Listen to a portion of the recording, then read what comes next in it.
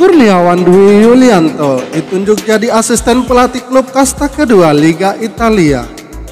Sebelum lanjut, silahkan subscribe channel ini agar Anda tidak ketinggalan ulasan populer dari kami. Legenda sepak bola Indonesia Kurniawan Dwi Yulianto menjadi perbincangan publik Indonesia. Penggemar sepak bola belakangan ini menyebut namanya.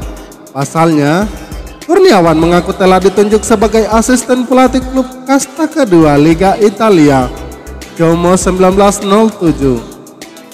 Kurniawan saat ini masih berada di Indonesia.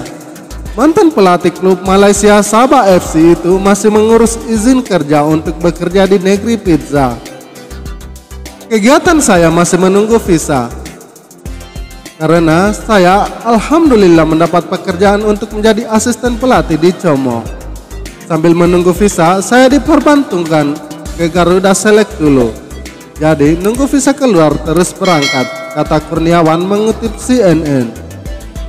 Kabar ini jelas jadi lompatan karir bagi Kurniawan. Salah satu penyerang terbaik timnas Indonesia di masanya itu akan menimba ilmu di salah satu negara dengan kompetisi sepak bola terbaik. Sebelumnya, Kurniawan dipercaya untuk menukangi Sabah FC Pelatih berusia 45 tahun itu sempat dua musim menukangi tim yang tampil di pentas Malaysia Super League. Jemo saat ini bersaing di Seri B setelah promosi dari Seri C pada akhir musim lalu.